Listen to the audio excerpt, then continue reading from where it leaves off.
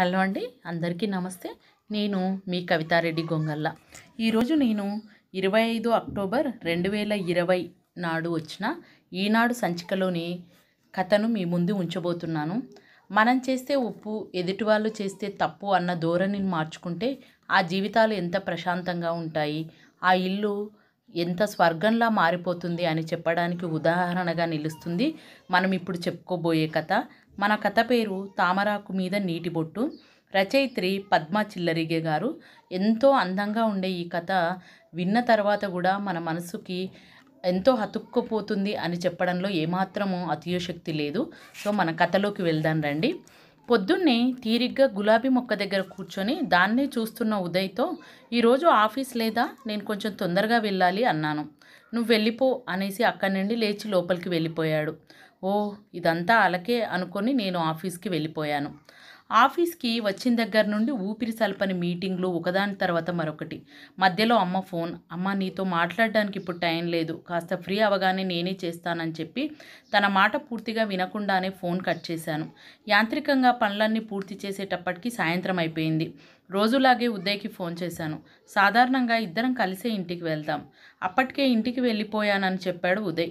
మళ్ళీ కంప్యూటర్ ముందు కూలబడ్డాను. నా వేళ్ళు యాంత్రికంగా కీబోర్డు మీద కదులుతున్నా నా మనసంతా నిన్న రాత్రి ఇంట్లో జరిగిన సంఘటన మీదే ఉంది. అనవసరంగా ఉదయ్ విషయాన్ని పెద్ద చేస్తున్నాడనిపించింది. నా మటుకు అది చాలా చిన్న విషయం. కొద్ది రోజులుగా ఆఫీస్లో పని ఒత్తిడి ఎక్కువగా ఉంది. ఏడాది క్రితం మా పోటీ కంపెనీ నుండి ఒక ఇంజనీర్ని బతిమిలాడి బోలెడన్ని ఆశలు చూపించి మా కంపెనీలో చేర్చుకున్నాం. అతనేమో ప్రతి విషయంలోనూ జోక్యం చేసుకుంటున్నాడు. సొంతంగా నిర్ణయాలను తీసుకోనివ్వడం లేదు. మిగిలిన వారి ముందు తక్కువ చేసి మాట్లాడుతున్నాడు.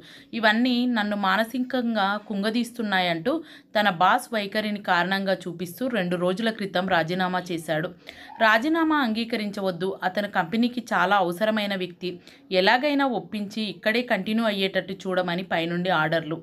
ఓ పెద్ద మల్టీనేషనల్ కంపెనీలో మానవ వనరుల విభాగానికి అధిపతిగా ఆ బాస్తోనూ ఇతనితోనూ మాట్లాడి అసలు సమస్య ఏమిటో అర్థం చేసుకొని ఇద్దరికి రాజీ చేసేటప్పటికీ నా తల ప్రాణం తోక్కొచ్చింది. పూర్తిగా అలసిపోయి శరీరము మనసు రెండు విశ్రాంతి కోరుతున్న సమయంలో నిన్న నేను ఇల్లు చేరాను.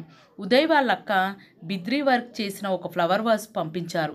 దాన్ని మా అత్తగారు డ్రాయింగ్ రూమ్లో షోకేస్లో పెట్టారు.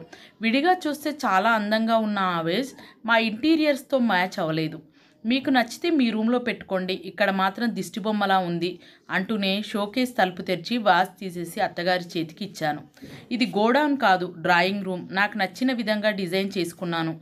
నాకు తెలియకుండా దేనిని ఇక్కడ పెట్టకండి. నాకు నచ్చని వస్తువు ఈ ఇంట్లో ఉండడానికి వీల్లేదు. ఈ విషయం మీకు చాలాసార్లు చెప్పాను. నా ప్రమేయం లేకుండా నా నోటి నుండి విసురుగా వచ్చాయా ఆ మాటలు. అదిగో అప్పటి నుండి ఉదయ్ అత్తగారు ఇద్దరూ మౌనవ్రతం నిట్టూర్చాను. ఇంతలో పొద్దున అమ్మ ఫోన్ చేసిన సంగతి గుర్తుకు వచ్చింది. అమ్మతో మాట్లాడాను.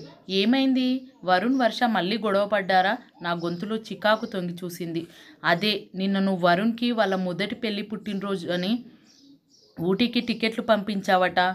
దాని మీద మొదలై అలా చిలికి చిలికి పెద్ద గాలివాన అయ్యింది. నువ్వు రా చెబుతాను అని అమ్మ ఫోన్ పెట్టేసింది. ఇంటింటి రామాయణం కానీ నాకు ఇప్పటికిప్పుడు వరుణ్తో కానీ వర్షతో కానీ మాట్లాడాలనిపించలేదు. కంప్యూటర్ ఆఫ్ చేసి కారులో కూర్చున్నాను. కళ్ళు మూసుకొని వెనక్కి వాలాను. చాలా రోజుల తర్వాత నా గతాన్ని గుర్తుకు తెచ్చుకున్నాను. నాన్నగారు సర్వీస్లో ఉండగా చనిపోవడం వల్ల అదే బ్యాంకులో ఉద్యోగంతో పాటు ఇంటి బాధ్యతలు నేను తీసుకున్నాను. ఉద్యోగం చేస్తూనే ఎగ్జిక్యూటివ్ ఎంబీఏ పూర్తి చేశాను. బ్యాంకు ఉద్యోగం నుండి తప్పుకొని ప్రైవేట్ కంపెనీలో చేరి అంచెలంచెలుగా పైకి ఎదిగాను. ప్రస్తుతం ఈ కంపెనీలో చేస్తున్నాను. వరుణ్ ఇంజనీరింగ్ తర్వాత ఐఎస్బీలో చదవాలన్నది నా నిర్ణయమే. స్వతహాగా తెలివైన వాడవడం వల్ల సీట్ రావడం కష్టం కాలేదు. ముంబైలో వచ్చిన జాబ్ వదులుకొని అమ్మ కోసం నా కోసం హైదరాబాద్లోనే ఉండిపోయాడు. వరుణ్ని చూస్తే నాకు చాలా గర్వంగా ఉంటుంది.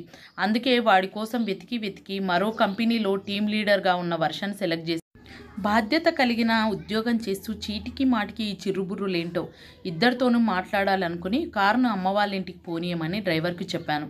అమ్మ చేతి కాఫీ తాగుతుంటే హాయిగా అనిపించింది. ఎప్పుడు ఉండేదే కొత్తగా చెప్పడానికి ఏముంది? మా అమ్మ చేసినట్టు లేదు అంటాడు వీడు. మీ అమ్మగారు చేసినట్టు నాకెలా వస్తుంది? మా ఇంట్లో చేసినట్టు చేస్తున్నాను. మీ పద్ధతులు వంటలు నేర్చుకోవడానికి నాకు టైం పడుతుంది అనేది మొదట్లో. నా వంట బాగా లేకపోతే మీ అమ్మగారినే వంట చేయమనండి అనేసి తనకు మాత్రం చేసుకొని వెళ్తుంది ఇప్పుడు. దొండకాయ ఇప్పటికీ తను చక్రాలుగా తరుగుతుంది. మనం పొడుగ్గా తరుగుతాం. దాంతో వీడు కూర పక్కకు పెట్టేస్తాడు. అలాగే అన్నీ. దానికి తోడు ఈ మధ్య ఆఫీస్లో పని ఉంది అంటూ రోజు లేట్గా వస్తుంది. కోడలొచ్చిన సుఖం లేదు. రాత్రి వంట కూడా నేనే చేస్తున్నాను. తను వచ్చేటప్పటికి మా ఇద్దరు భోజనాలు అయిపోతాయి. ఒక్కరితి తిని అన్ని సర్దీసి పడుకుంటుంది. గడగడా చెప్పింది అమ్మ. చెల్లున తగిలాయి ఆ మాటలు. నేను దాదాపు నెల రోజులుగా ఇంటికి లేటుగానే వస్తున్నాను. అన్ని పనులు అత్తగారి చేస్తున్నారు. నా భోజనం అయ్యే వరకు ఉదయ్ అత్తగారు డైనింగ్ టేబుల్ దగ్గరే కూర్చొని ఆ రోజు జరిగిన విశేషాలు చెబుతూనే ఉంటారు. నిజానికి ఆవిడ వల్లే బన్నీ గురించి నిశ్చింతగా ఉండగలుగుతున్నాను. ఆఫీస్ పని పూర్తి చేసి పూర్తి అంకితభావంతో చేయగలుగుతున్నాను. కిచెన్లో కాఫీ కప్ కడుగుతూ చుట్టూ చూశాను. Gas stove water filter electric cooker pressure cooker అంతెందుకు. నేను తాగిన కాఫీ కప్ కూడా నా సెలక్షనే. అసలు గొడవ ఎందుకు వచ్చింది అందులోనూ అలిగి పుట్టింటికి ఎందుకు వెళ్ళింది? అన్నాను అమ్మతో. ఏదో చెప్పబోయి అమ్మ ఆగింది. చెప్పు ఏమైంది? రెట్టించాను. మొన్న పూర్ణ పిన్ని సరు పిన్ని వచ్చారు. వాళ్ళందరూ ఉన్నప్పుడే వర్ష ఆఫీస్ నుంచి వచ్చింది. ఈ టేబుల్ క్లాత్ చాలా బాగుంది. మన మంజు పంపిందేనా? దాని సెలక్షన్ ఎప్పుడు బెస్టే అంది పూర్ణ. వెళ్తూ వెళ్తూ అక్క నువ్వు చాలా అదృష్టవంతురాలివే. నీకు కోడలొచ్చినా నీ కూతురు నిన్ను కళ్ళల్లో పెట్టుకు చూస్తుంది అంది. అంతే మేం మాట్లాడుకుంది. అసలు గొడవ ఎక్కడ వచ్చిందో చెప్పడం లేదు విసుక్కున్నాను. నిన్న నువ్వు పంపిన టికెట్లతో అసలు గొడవ మొదలైంది. తను కూర్గు వెళ్దామని ప్లాన్ చేసిందట. నేను చెబుతాను వదినకి మన ప్లాన్ గురించి ఆవిడ అర్థం చేసుకుంటారు అంది వర్ష. దానికి వరుణ్ అసలు ఒప్పుకోలేదు. అక్క మన కోసం ఇంత ఖర్చు పెట్టి టికెట్లు హోటల్ అన్నీ బుక్ చేసింది. ఇప్పుడు కాదంటే బాధపడుతుంది. అందుకని ప్రస్తుతానికి అక్క కోసం ఊటీ వెళ్దాం. తర్వాత నీ ఇష్ట ప్రకారం కూర్గు వెళ్దాం అన్నాడు. కానీ వర్ష తను పట్టు వదలలేదు. అంటే నేను మీ అక్క కోసం నా ఇష్టాలు వదిలేసుకోవాలా? హనీమూన్ అప్పుడు ఇలాగే చేశారు వదిన. సిమ్లా టికెట్లు తీసుకొచ్చి చేతిలో పెట్టారు. సర్ప్రైజ్ అని. ఓహో వదిన చాలా బాగా ప్లాన్ చేశారు అనుకున్నాను. మన ఫస్ట్ యానివర్సరీకి మాత్రం మన ఇద్దరం కలిసి ప్లాన్ చేసుకొని వెళ్ళాలనుకున్నాను. మీతో చాలాసార్లు చెప్పాను కూడా. అంతెందుకు? ఈ ఇంట్లో ఏదైనా సరే మన ఇద్దరం కలిసి కొన్నామా? ఆఖరికి టేబుల్ క్లాత్ కూడా వదినదే సెలక్షన్. ఇంట్లో ప్రతిదీ వదిన ఇష్ట ప్రకారం జరగాల్సింది. తాగే కప్పు తినే కంచం పడుకునే మంచం అన్నీ ఆవిడ సెలక్షనే ఇక్కడ ఏ పని చేసినా వదినకు నచ్చుతుందా లేదా అని ఆలోచించి చేయాలి తప్ప నాకు నచ్చినట్లుగా కాదు. ఇది నా ఇల్లు కానప్పుడు నేనెందుకు ఇక్కడ? మీరు అత్తగారు ఉండండి. నేనేగా పరాయిదాన్ని నేనే వెళ్తాను అంది వర్ష విసురుగా. అన్ని పెద్ద పెద్ద మాటలు ఎందుకు ఒక విధంగా నేను అక్క చెక్కిన శిల్పాన్ని జాబ్ చేస్తూ నన్ను చదివించింది. ఎంతమంది ఒత్తిడి చేసినా నా చదువు పూర్తయ్యేంత వరకు పెళ్ళి కూడా చేసుకోలేదు. నాకు ఉద్యోగం వచ్చాకే ఉదయని పెళ్ళి చేసుకుంది. ఎంత చేసినా అక్క రుణం తీర్చుకోలేను. చిన్న చిన్న విషయాలను పెద్ద చేయకు అర్థం చేసుకో అని బతిమలాడాడు కూడా. కానీ వర్ష వినిపించుకోలేదు. మీరు సొంతంగా నిర్ణయాలు తీసుకోగలను అనుకున్నప్పుడు ఫోన్ చేయండి. అప్పుడు వస్తాను అంటూ వెళ్ళిపోయింది. మాకు అర్థం కాలేదు. ఎందుకు అంతలా రియాక్ట్ అయ్యిందో. వీడు చాలాసార్లు ఫోన్ చేశాడు. స్విచ్ ఆఫ్ వస్తుంది అంది అమ్మ. మంచి పిల్ల. మనతో బాగా కలిసిపోతుందని ఏరి కోరి చేశావు. చూడు ఎలా చేసిందో బయటికి తెలిస్తే పరువు పోతుంది. అమ్మ మాటల్లో కోపం కనిపించింది. వరి అవ్వకమ్మా నేను మాట్లాడతా ఇద్దరితో అన్నాను. వరుణ్ ఇంకా రాలేదు. నాకు లేట్ అవుతుందని బయలుదేరి వెళ్ళిపోయాను. దారంతా ఆలోచిస్తూనే ఉన్నాను. నేను ఇంటికి వెళ్ళగానే చేసిన మొదటి పని నిన్నటి నా ప్రవర్తనకి అత్తగారిని మనస్ఫూర్తిగా క్షమించమని అడగడం. ఆవిడ అభిమానంగా నన్ను దగ్గరికి తీసుకున్నారు. ఈ ఇల్లు ఆవిడది కూడా. నేను నిన్న ఆవేశంలో ఆ సంగతి మర్చిపోయాను. ఉదయ్ మా రూమ్లో టీవీ చూస్తున్నాడు. వెళ్ళి పక్కన కూర్చున్నాను. ఉదయ్ భుజం మీద తలవాల్చాను. ఏమైంది? నా భుజం చుట్టూ తన చేయి బిగుసుకుంది ఆప్యాయంగా. ఆ స్పర్శతో ఆ స్పర్శతో చీకటిలో దారి తెలియక కొట్టుకుంటున్న చిన్నపిల్లకు వెలుగు కనిపించినట్లయింది ఇంకా దగ్గరగా జరిగాను. ఓకే ఓకే అసలు విషయం చెప్పు అన్నాడు ఉదయ్. గొడవంతా చెప్పేసిన తర్వాత నా మనసెంతో తేలిగ్గా అనిపించింది.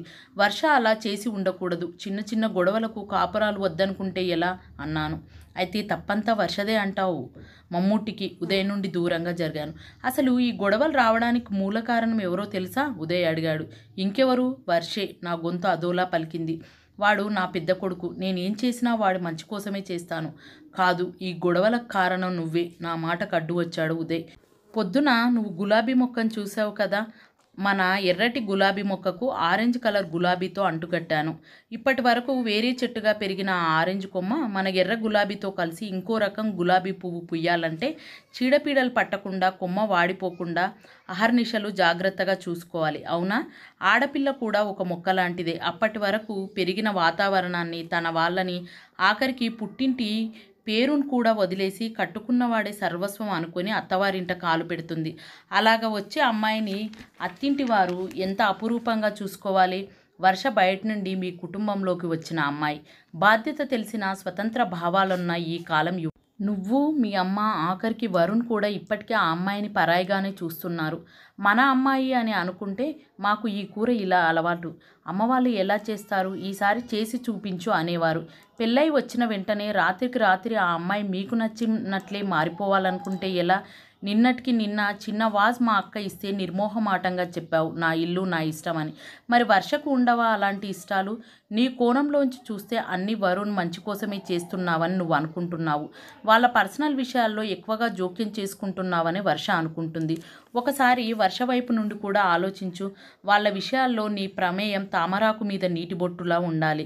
అంటే దగ్గరగా ఉంటూనే దూరంగా ఉండడం. అలా ఉంటేనే అనుబంధాలు అభిమానాలు ఎప్పటికీ నిలిచి ఉంటాయి. ప్రతి వారికి తమకంటూ ఒక స్పేస్ కావాలి. ఇప్పటి జంటలకి ఉద్యోగ బాధ్యతలు చాలా ఎక్కువ. వారి కోసం అంటూ దొరికే టైం బాగా తక్కువ. ఆ కాస్త టైంలో ఇద్దరు కలిసి అన్ని పనులు చేసుకుంటుంటే ఒకరి మీద మరొకరు ఆధారపడడం మొదలవుతుంది. అలా వారు ఇద్దరి మధ్య అనురాగం బలపడుతుంది. ఈ ఇల్లు నాది వీళ్ళు నా వాళ్ళు అనే అనుబంధం పెరుగుతుంది. ఇప్పటికీ వ ఇప్పటి వరకు వరుణ్ణి మంచి కొడుకులా పెంచావు. మంచి భర్తలా కూడా చూడాలనుకుంటే ఏం చేయాలో ఒకసారి ఆలోచించు అంటూ బయటకు వెళ్ళారు. ఉదయ్ మాటలే నా చుట్టూ తిరుగుతున్నాయి. సడన్గా రెండు వారాల క్రితం జరిగిన సంఘటన గుర్తుకు వచ్చింది. ఆ రోజు ఆఫీస్ నుండి అమ్మ దగ్గరికి వెళ్ళాను. ఇంట్లో హాల్లో సోఫాలు ఇటువి అటు అటువి ఇటు మార్చి వేశారు. నాకెందుకో అది నచ్చలేదు. నిర్మోహమాటంగా వరుణ్కి చెప్పాను.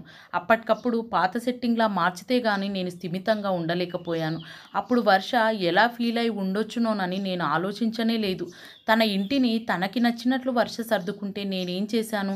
ఈ ఇల్లు నాది నీది కాదు. సుమ అనే సంకేతాన్ని ఇచ్చాను. ఇప్పుడు ఆలోచిస్తే ఎంత అనాలోచితంగా చేశాను ఆ పని. నిన్న ఆఫీస్లో కూడా సరిగ్గా ఇలాంటి పరిస్థితి. ఆ బాస్తో విడిగా మాట్లాడుతూ ఎవరైనా ఆఫీస్ పనిని మొక్కుబడిగా కాక సొంత పనిగా అంకిత భావంతో చేస్తే ఆ పని నూటికి నూరు శాతం విజయవంతం అవుతుంది. కొత్త వారిని సొంతంగా ఆలోచించేలా ప్రోత్సహించాలి. అటాచ్మెంట్లో డిటాచ్మెంట్ అంటే దగ్గరగా ఉంటూ కూడా దూరంగా ఉండడం అలవాటు చేసుకుంటే బాగుంటుంది అని ఆ బాస్కు సలహా ఇచ్చాను మరి. ఆలోచనల సుడిగుండంలో గిరగిరా కొట్టుకుంటున్న నా తప్పేమిటో తెలిసింది. కర్తవ్యం బోధపడింది. రేపు తప్పకుండా వర్షతో మాట్లాడాలి అనుకున్నాను. అప్పుడే అమ్మ దగ్గర నుంచి ఫోన్ వచ్చింది. వరుణ్ వెళ్ళి వర్షని ఇంటికి తీసుకొచ్చాడని చెప్పింది. వర్ష దగ్గరికి వెళ్తున్నట్లు నాకు చెప్పలేదు వరుణ్. చిత్రంగా నాకైతే కోపం రాలేదు. ఎంతో బాగుంది కదా ఈ కథ. మనకు విన్న తర్వాత ఒక రెండు రోజులు మనల్నే అంటిపెట్టుకొని తిరుగుతున్నట్టుగా అనిపిస్తూ ఉంటుంది కదా. సో ఎప్పుడైనా మనం కూడా ఇలాంటి పొరపాట్లు చేస్తే జరగకుండా చూసుకుంటే ఆ ఇల్లు స్వర్గంలా మారిపోతుంది. ఇంకొకటి ఏంటి అంటే మన తప్పులు మనకు తెలిసినంత బాగా ఇంకెవరికీ తెలియదు కనుక మన తప్పులు మనం మార్చుకోవాల్సిన బాధ్యత కూడా మనపైనే ఉంటుంది. ఈ కథ మీకు ఎంతగానో నచ్చితే లైక్ చేయండి షేర్ చేయండి సబ్స్క్రైబ్ చేయండి. ఇటువంటి కథలు మరెన్నో వినాలనుకుంటే పక్కనే ఉన్న బెల్ ఐకాన్ని ప్రెస్ చేయండి. Thank you.